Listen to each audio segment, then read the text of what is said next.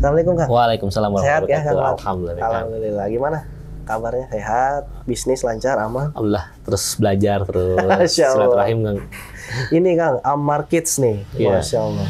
Ini saya tahu Amar Kids itu adalah salah satu eh, wakif ya di. BWA gitu Masya Allah. Jadi ada informasi itu, kemudian saya searching di internet, media sosial dan lain sebagainya. Wah Masya Allah, saya kayaknya perlu datang ke sini nih, ke Jauh-jauh markas ini ya. ya. Jauh-jauh dari Jakarta nih. Alhamdulillah ya.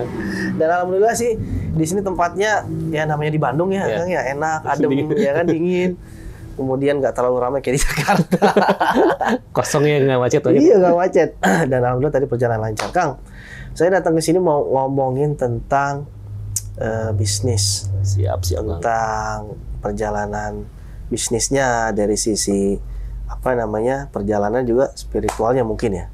Nah, coba saya mau tahu dulu nih Kang terkait dengan Amar Kids ya. Amar Oke. Kids ini eh, itu tuh background bisnisnya tuh seperti apa Kang? Oke boleh oke. tahu.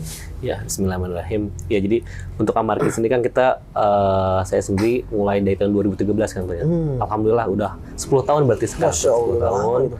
Eh, apa ya dengan banyak dinamikanya naik turunnya tapi ya masya allahnya Allah bantu eh, apa beri kemudahan segala banyak kemudahan lah eh, sampai bisa berjalan sampai ke tahap ini pun sebenarnya di luar apa ya namanya eh di luar ekspektasi saya juga gitu. Dulu ya background saya memang dulu kuliah di manajemen dan dari dulu dari seneng dari SMA juga senangnya jualan gitu. Bahkan belum sempat ngelamar kerja ya kan jadi alhamdulillah semenjak kuliah juga udah jualan eh, pas lulus tuh udah ada bisnis lah ada bukan bisnis lah bisnis terlalu gede ya maksudnya jualan lah dagang lah saya udah ada dagang.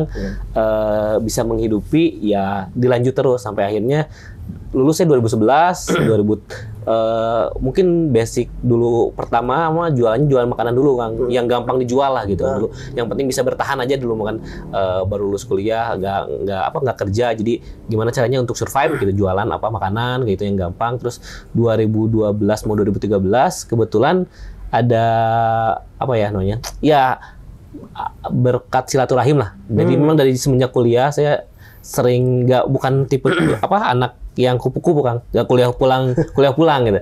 Mungkin lebih ke kunang-kunang gitu. Kuliah nangkring kuliah nangkring tapi nangkringnya nangkring yang positif maksudnya dalam artian eh, berjejaring lah. Dalam artian saya seneng eh, bahkan lintas kampus ya kan. Oh, maksudnya maksudnya kenal ke sini ke sini ke sini. Tadi berjejaring aja. Awalnya jadi 2012 eh, kebetulan ada temen yang ngajakin untuk jualan di bidang fashion. Dan kebetulan eh, beliau juga dulu tuh lagi musim bukan lagi musim lagi hype lagi mau hype-nya tuh zaman Facebook ads advertising digital gitu. Jadi oh saya juga malah baru tahu oh ternyata di media sosial tuh bisa untuk jualan ya gitu kan. Bisa katanya. Oh, ya udah eh, berpartner lah dari situ kita syirkah bareng eh, jalan tapi justru pas ketika mau mulai beliaunya mengundurin diri kan. Jadi karena memang beliau tuh ada beberapa bisnis. Jadi eh, akhirnya di disepakati wah saya nggak bisa ya mungkin pilihan beliau jalur jalur apa bisnis yang lain saya akhirnya ya ini udah tanggung Udah jalan. mau berjalan gitu kan ya udah weh di apa di saya jalanin ya, kayak gitu sih untuk dari 2013 alhamdulillah mulai dengan nama Amar Kids yang kalau misalnya kalau dari segi arti dulu dari ah, arti sendiri gitu Amar Kids tuh saya ngambil dari bahasa Arab tuh yang artinya memakmurkan Kang. Komurkan dia. Ya, jadi memang tadi eh, tujuannya visinya memang pengen dengan sesuai nama lah kita tuh dengan makanya kita juga dengan sistemnya kemitraan ya tadi Hmm. eh, harapannya dengan bisnis Amar itu bisa memakmurkan banyak orang Oh, Eh, bukan hanya stakeholder kita yang misalnya eh, stakeholder kita kayak mitra ya karyawan ya apa eh, tim-tim terkait gitu kan pekerja gitu tapi eh, lebih dalam apa skala lebih besar juga pengen lebih bermanfaat lah makanya kita juga ya tadi eh, alhamdulillah banyak dengan dari BWA juga Iya, kita betul. eh, kerjasama lah gitu kan Eh, ya karena yang saya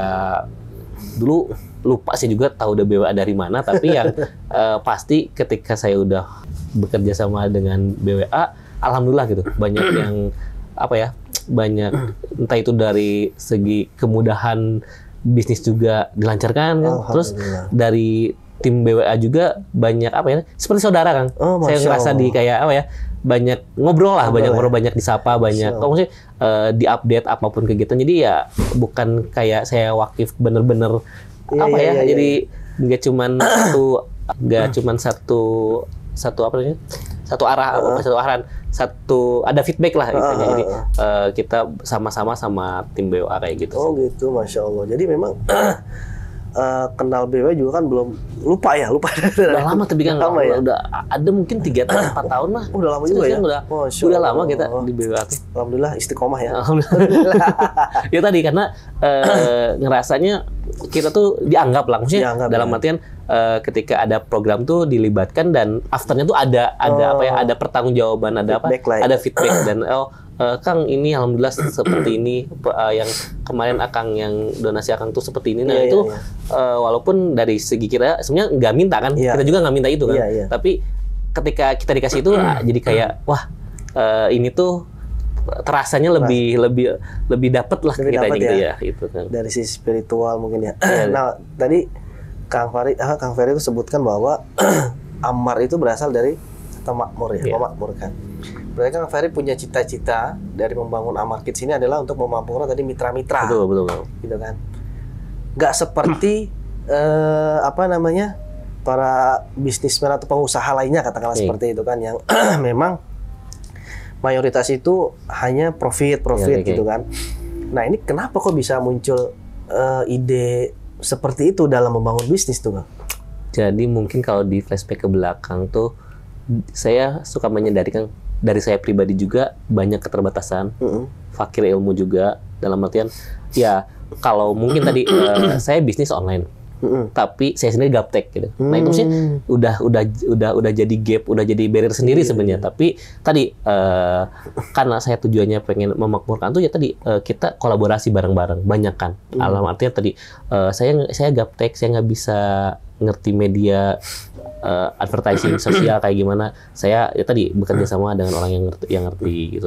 Saya bersilaturahim berjejaring kayak gitu. Jadi eh, apa? Kenapa memakmurkan dalam artian dipilih bisnisnya kemitraan gitu ya tadi biar eh, kita bareng-bareng gotong royong lah kang maksudnya dalam artian eh, saling memudahkan kalau saya tuh intinya poin dari bisnis tuh pengen saling memudahkan kenapa saling memudahkan kalau disebut saling membantu mungkin kadang orang kita kita udah ngelakukan sesuatu yang terbaik tapi ngerasa nggak terbantu kita mah. tapi kalau memudahkan tuh ya minimal dia ngerasanya kita nggak mempersulit Oh, iya, iya, jadi iya, iya. kayak pola bisnis di Amar aja sih Kang. Eh, kita tuh kalau ada kita nggak mungkin namanya bisnis eh, komplain nggak mungkin nggak ada gitu. Iya, pasti ada yang namanya komplain. Tapi setiap komplain di kita tuh pasti selesai kan. Dalam artian kita tanyakan ke konsumennya. Eh, oh iya udah kita minta maaf, kita tanyakan eh, maunya seperti apa. Bahkan kita tuh kalau ada barang retur, eh barang reject gitu, nggak kita retur kan, kita kirim ulang, oh gitu kita kirim ulang. berarti Jadi yang itu reject biar di dikasih sana? aja. oh. Jadi dikasih "Eh, ini akadnya gimana ya? Mau dipakai silakan, mau disedekahkan sama Masya beliau juga silakan. Jadi maksudnya kita memudahkan aja orangnya, gak, gak mempersulit lah gitu. Masya. Jadi ya ngapain juga dipersulit kayak iya ya eh, ya ini kan bisnis eh, berhubungan dengan banyak orang dan eh, intinya kan bisa juga untuk kebermanfaatan orang gitu. Iya. Tapi toh eh, malah orang nggak ngerasa manfaat ya buat apa bisnis kayak gitu. Oh. Kecuali tadi mungkin kata bener hanya bisnisnya untuk profit aja uang semata gitu. Iya. Tapi kalau bisnisnya emang kita untuk ngasih manfaat ya kok katanya ngasih manfaat tapi konsumen Masya mau jadi apa istilahnya bukan komplain ya maksudnya nggak nggak merasakan manfaatnya Iya, iya. kita persulit gitu Iya, iya, kita gampangin ya bahkan kalau misalnya dia juga nggak suka. Oh barangnya ternyata jelek gini. Ya udah kita retur aja. Balikin uangnya gitu kan. Oh gitu. Kita balikin aja bisa uangnya. gitu ya? bisa kan Masya bisa aja. Ya tadi kan biar ridho sama ridho lah. Allah. saya pengennya bisnis itu ridho sama ridho mungkin dia bisa aja ya udah apa ngerasa ridho tapi ridho di apa? Ah, di omongan di mulut tapi di hatinya enek "Wah, saya beli mahal-mahal atau saya beli Barang barang begini gitu ya. barang gini gitu. Nah, saya nggak mau ada kayak gitu. Jadi Ya kan takut ada doa-doa jelek Iya. karena doa jelek tuh yang saya percaya juga kan bakal balik lagi takutnya ke yang mendoakan. Betul. jadi saya pengen orang Oh, tuh ngedoain yang baik Iya, yang Allah. gitu kan.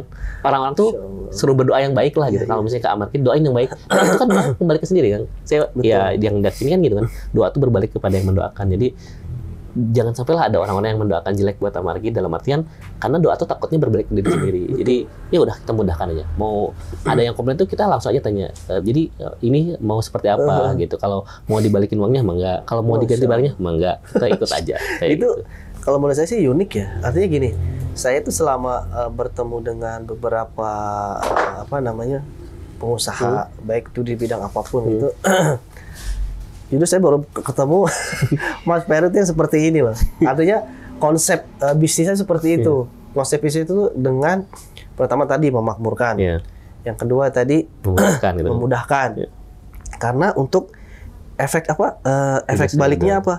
Doa baik yang untuk amarkis, Iya. doa doa baiknya untuk konsumen. Iya. Dan tidak jarang. sama Rido kan. Ridho sama ridho. Itu kan intinya intinya apa ya? Itu kalau bisa dikatakan dari sisi apa namanya agamanya spiritualnya itu udah Insya Allah udah bagus banget tuh kalau menurut saya gitu ya. Iya. Nah kemudian Kang, Belajar. kalau bicara tentang untung rugi, Hmm. emang nggak rugi kan kayak gitu? Nah, itu kan maksudnya kan eh, ya kalau dari apa ada hadis ya yang kayak bisnis itu kan bukan cuma untung rugi kan. Ada surga neraka itu. Nah, itu kan Ah, yang iya, kita iya, iya. pegang dalam artian Gak, kok alhamdulillah ya iya, seperti ini Sejalan ternyata nggak ya. ada rugi gitu kan ya saya tuh suka kadang aneh kalau apalagi kalau di apa di salah satu platform marketplace gitu kan kalau mau retur harus apa Iya, ribet.